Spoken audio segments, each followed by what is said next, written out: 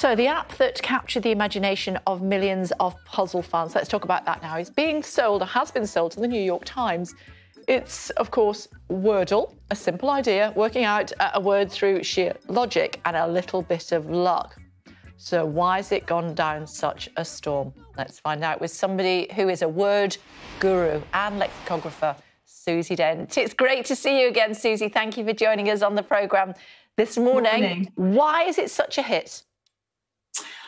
Lots of reasons, I think, Kay. But um, first and foremost, I think it's the comfort factor. You know, and uh, let's face it, uh, the world around us is slightly messy at the moment. I think we can just find a little oasis in a really simple, joyful word game. Its rules are very simple. Uh, we are set the same challenge uh, as everybody right across the world every day and there's only one. We're rationed to one. So i think it's teaching us a level of patience that you know hasn't been required of us really for for years because there are so many apps out there obviously that that offer endless plays of things. So i think it's really special from that point of view.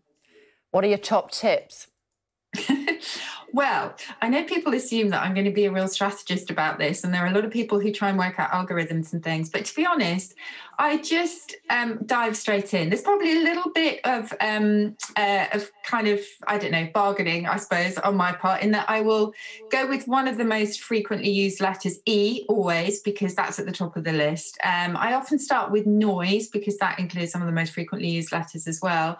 Um, so you can, if you like, approach it from that point of view but for me the kind of the real pleasure is in the process of elimination and that code breaking exercise that comes after. So uh, you know there's no time pressure as well. You can ponder it all day if you like um, as long as you obey the golden rule and do not put any spoilers on twitter or social media because that can genuinely ruin someone's day yeah, it's not faux. I always start with adieu because it's got quite a lot of vowels yes. apart from O in there, hasn't it? It's a, yes. It reminds me of master. You won't remember Mastermind, but when you used to have to play with, you're not old enough. Don't be ridiculous. I know. With I, the little pegs. Yes, it's exactly like that. It, as I say, it's a process of elimination, and and uh, I just love the fact that we're all doing the same thing.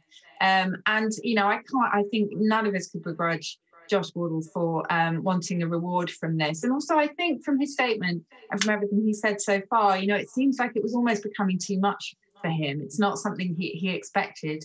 Um, and to be fair, the New York Times also has real pedigree when it comes to um, word games. Obviously, it has its crossword um, as well, which is very famous. So, you know, hopefully, uh, they say that it will initially be free. Hopefully, that initial period will, uh, you know, will be a long one, and we can all keep enjoying it as much as almost as popular. Almost as popular is your word of the day on Twitter. What's the word today? I haven't decided yet. Actually, quite often they are quite self-referential. Um, I, I, know that uh, I often bounce off topical events as well. But um, yes, I think um, I've done Wordle for today. That's my first challenge, and um, I will let everything else percolate and then have a think about what I'm going to post today. Looking forward to it. Thank you.